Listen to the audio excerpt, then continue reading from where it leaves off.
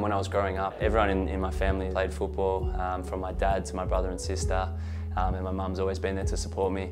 Um, so yeah, my dad playing for Australia was, um, was a huge, uh, huge role model um, for me growing up, and, and, he taught me a lot of things with, uh, about football and how to play. Um, someone with such experience to, to guide me along the way.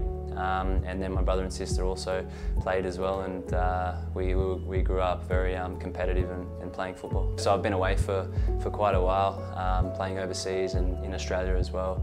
Um, so uh, it's, you know, it's been a great experience. I've played at the highest level possible um, and that was, that was for me was to, to go overseas and given me a lot from, from football which, um, which you don't get to achieve unless you, you, know, you go overseas and play at those clubs and yeah, it's been a great experience for me you know, being back home and playing for, for the club that I first um, really started at as well um, in the A-League um, was, was something that I was drawn to. But I had, you know, so many uh, great memories from, uh, from, my, from my childhood, you know, grew up on the, on the Central Coast and uh, played my first season with the, with the Avoca Sharks and then my, my junior career with Avoca.